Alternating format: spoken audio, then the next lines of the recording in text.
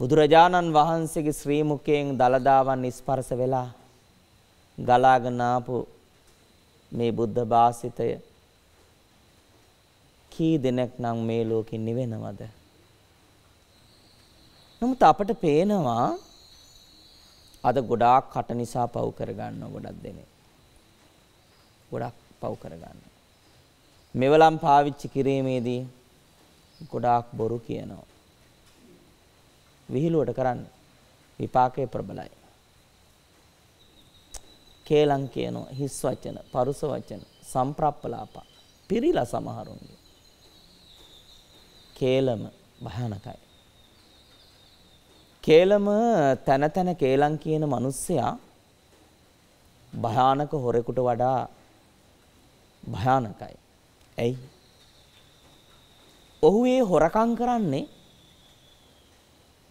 ගුණවත් මිනිස්සු ඊටාම අපහසුයෙන් උපයාගත්ත ඔහුගේ අභිමානය, ගරුත්වය, විශ්වාසනීයත්වය කේලම ඊටාම භයානකයි. ඒ නිසා තමයි මේ කේලම ගැන දක්වනකොට බොරුව කේලම පිසුනා වාචා පරුසා වාචා සම්ප්‍රප්පලාපා කියලා අපි දන්නවා. ඔබ දන්නවද? කේලම් කියන මිනිස්සු ගුණවන්ත මිනිස්සුන්ගේ විනාශ කරන මේ උපයාගත්ත මහා වටිනාම දේවල් විනාශ කරන හැටි. අද ලංකාව බලන්න. රටක් ගැන, ජාතියක් ගැන, රණවිරුවන් ගැන, ස්වාමින් වහන්සේලා ගැන කොයිතරම්නම් කේලම් පතුරවනවද? හරි භයානකයි. මට මතක් වෙනවා මේ වෙලාවේ කටින්දා සස පුරා දුක් විඳලා බුද්ධ කාලයේදී විපාක සහිතව ඉඳලා සෝතාපන්න වෙච්ච ශ්‍රාවකයෙක්ගේ කතාවක්. මේක නූතන හිතා වැදගත් වෙනවා. මොකද්ද? ඔබට මතක ඇති සුප්පබුද්ධ කියන චරිතය. මේ සුප්පබුද්ධ ඇඟ පුරාම කුෂ්ඨ තියදී හැම වෙලාවම ඒ තුවාල කහනවා මුළු ඇඟේම ඕජස් කලනවා. හිඟා කෑවේ. එක දවසක් මගේ බුදුරජාණන් වහන්සේ සන්ධ්‍යා කාලේ දන්සභා මණ්ඩපයේදී මේ ආර්ය ධර්මයේ දේශනා කරනවා. මොහුන්ට මොහුට මිනිස්සු අතරට යන්න බෑ. හැම වෙලාවෙම ඇඟ කහනවා. ඕජස් ගලනවා. ඕජස් ගලනවා විතරක් නෙමෙයි හැම වෙලාවෙම ඔහු අනුන්ට බාධා පිණිස තමයි හැසිරෙන්න වෙලා තියෙන්නේ ඒ රෝගයත් එක්ක. ධර්මශාලාවේ එළියේ ඉඳලා ධර්මයේ අහන සුප්පබුද්ධ සෝතාපන්න වෙනවා. ඒක බුදුහාමුදුරු දැක්ක බුදුනුවණින්. ඉන්න තැනක් නැහනේ. දැන් සමහර ඉන්නව නේද අපේ පිටත් හම් වෙනවනේ ජීවිත කාලෙම Tamanට කියලා හැවණක් නැහැ. හැමදාම බෝඩින් වල කුලීගවල වල ඉන්න කට්ටියක් ඉන්නව නේද? ඒත් විපාකයක් තමයි. සුප්පබුද්ධන් විපාකයක් වින්දා. සෝතාපන්න වෙනවා රාත්‍රී ඉන්න තැනක් හොයාගෙන යනවා. වෙනතේ රාත්‍රී කාලේදී කුලප් වෙච්ච හරකෙක් යන ළමුහුම් මරලා දානවා. හැබැයි සුගතියට ගියේ. සංසාරේ හොඳම රැකවරණය හදාගත්තා. ඒක දන්නේ බුදුරජාණන් වහන්සේ විතරයි.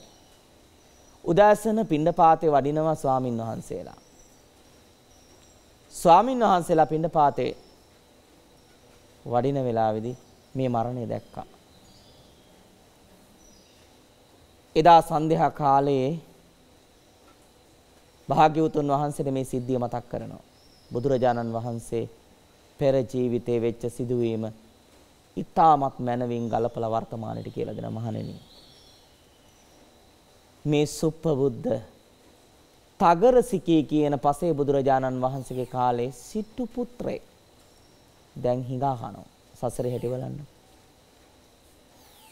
සසරේ හැටි බලන්න. ඊට පස්සේ මේ සිටු පුත්‍රයා යොබ්බන මදෙන් යවවන මදෙන් තරුණකමින් ධනවත්කමින් හරියට මානෙන් ඉදිමිලා හිටියේ. අපෙත් ඉන්නවා හැම කට්ටිය. සමහර බලයේ තියෙන උදවියගේ පුත්තුන්ට හැදෙන්නේ රෝගේ. අන්න එහෙම. ඊට පස්සේ කිසිදු වැරද්දක් නොකරපු පින්නපාතේ වඩින පසේ බුදුරජාණන් වහන්සේට අපහාස කරනවා. මේ මුඩු මහනා. අමු දවල් ඉහින් කනින් පොරවගෙන කුෂ්ඨ රෝගයක් හැදිලාද හිඟා කන්නද යන්නේ කියලා ඇහුවා.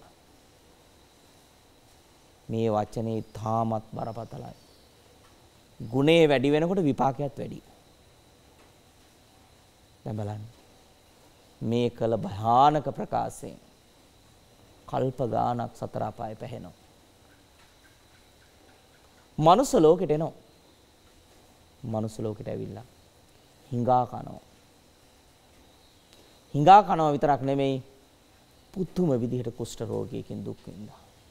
මැරෙනකම් කටින්දනේ සමහරු ඇයි අපිට ඇස් දෙකක් තියෙනවා කන් දෙකක් තියෙන එක කටක් තියෙන පරිස්සම පරිහරණය කරන්න මාළුවා නැහින්නෙත් මොකක් හින්දාද කියලා දන්නවනේ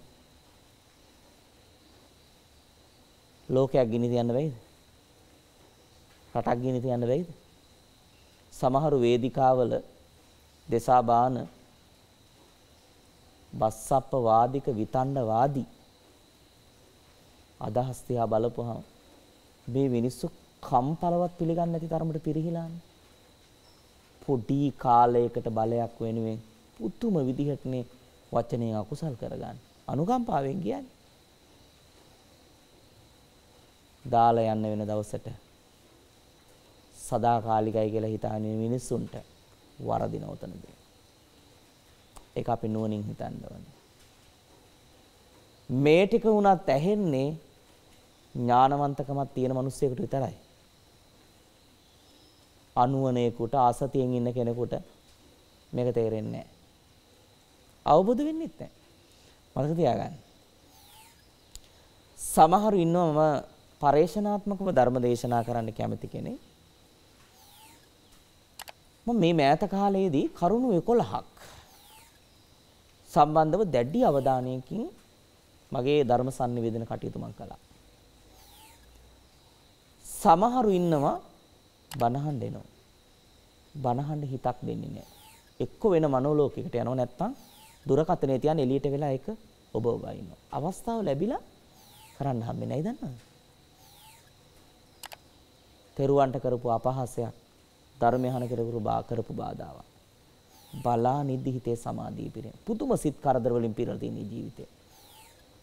අනිත් එක තමයි අවබෝධ නොකරපු කාරණා එකක්වත් අවබෝධ කරගන්න අවස්ථාවක් හම්බෙන්නේ නැහැ. පුදුම විපාක. එහෙම උදවිය පුදුම විදිහට අද ඉන්නවා. ඇත්තටම. අනිත් එක මොකක්ද දන්නවද?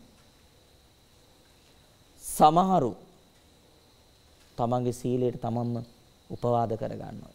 හානි කරගන්නවා. සමහරු මේක හිතන්නේ ලොකුකමක් කියලා. කට නිසා වෙච්ච දේ මේ කතාවෙන් පේනව නේද?